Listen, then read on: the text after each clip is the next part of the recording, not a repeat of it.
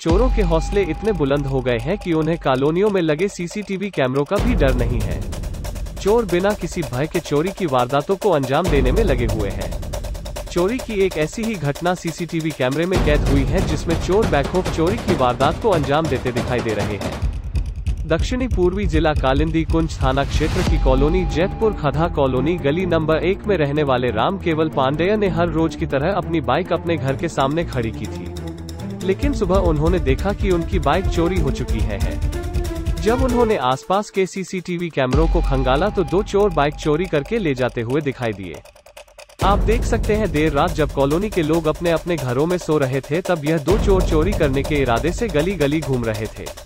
CCTV footage में देर रात लाल और काली टी शर्ट पहने दो लड़के एक गली से निकलते दिखाई दे रहे हैं। इनके चलने का अंदाज इतना बैकहोप है कि कोई इन्हें देखकर यह अंदाज़ा नहीं लगा सकता था कि कॉलोनी में चोरी के इरादे से घूम रहे हैं। लाल और काली टी शर्ट पहने दोनों लड़के जैतपुर खधा कॉलोनी गली नंबर एक में घुसते दिखाई दे रहे हैं। लगभग पाँच मिनट के बाद लाल टी शर्ट वाला लड़का अकेले मुँह पार मास्क बांधे बाइक चोरी करके जाते दिखाई दे रहा है। और काली टी शर्ट वाला लड़का गली के दूसरी तरफ़ से भाग गया। पूरी वारदात सीसीटीवी कैमरे में कैद हो गई है। मैं रामचोल पांडे, जयपुर खड्डा कॉलोनी। ए पचपन गली नंबर एक से बोल रहा हूँ।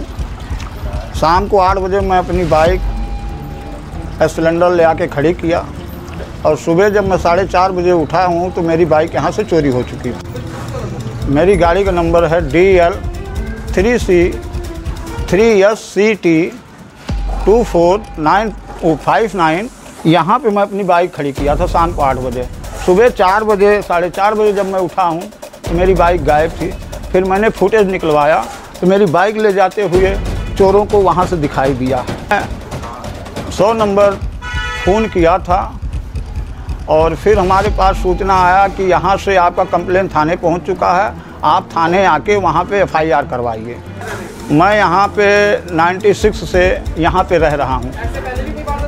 नहीं इससे पहले हमारे पास नहीं हुआ लेकिन इस कॉलोनी में बहुत मतलब दो चार दिन में दो तीन बाइकें उठ चुकी हैं। पीड़ित राम केवल पांडेय ने अपनी बाइक चोरी की रिपोर्ट कालिंदी थाने में कर दी है।